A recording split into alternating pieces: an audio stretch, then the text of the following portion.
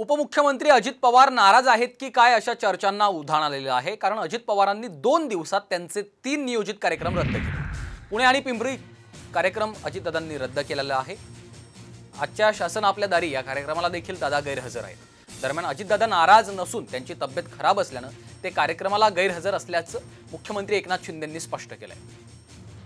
अजितदादांच्याबद्दल गिरीश महाजन यांनी सांगितलं कालपासून.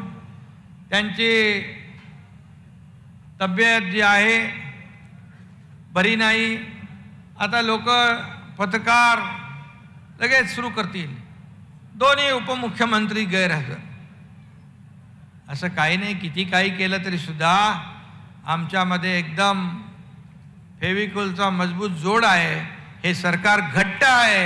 या सरकारला कुठेही काही अडचण नाही. नाही नाही असं काहीच नाही.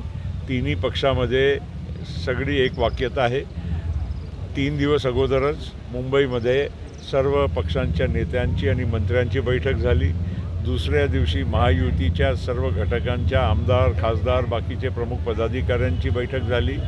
आणि कुठेही नाराजीचा सूर नाही.